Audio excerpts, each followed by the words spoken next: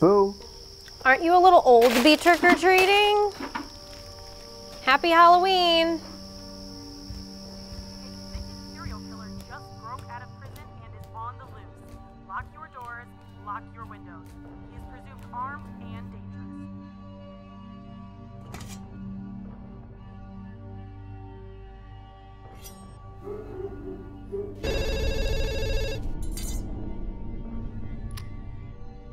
Hello? Hey, it's me. Hey, where are you? You know I hate being at your parents' house by myself. Uh, I just got on the road. I'm like an hour and a half away. What am I supposed to do till you get back? I don't know, it's Halloween. Hand out candy, make a salad, watch TV, or throw in one of those bath bombs. What the hell was that? What was what? I just heard something. Where? Upstairs. It's probably nothing. You're just spooking yourself because it's Halloween night and you're alone in the dark. And I care. But what are you wearing? what? This isn't funny. I just heard it again. I'm gonna go check it out. I got a knife. Well, look at you, armed and dangerous.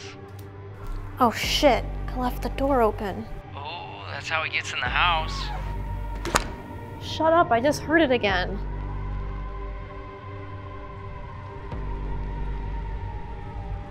Don't hang up. I got an hour drive. I'm not going anywhere. Do you really have a knife? Yeah. Oh gosh. What exactly did you hear?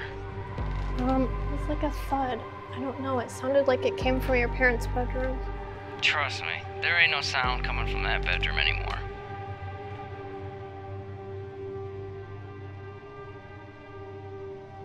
So far, so good.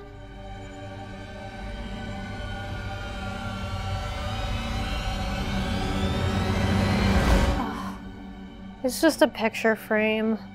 Fell off the wall. All that freaking out over a picture frame? I'm gonna hang it back up. Don't break it. That thing's vintage. Yeah, yeah.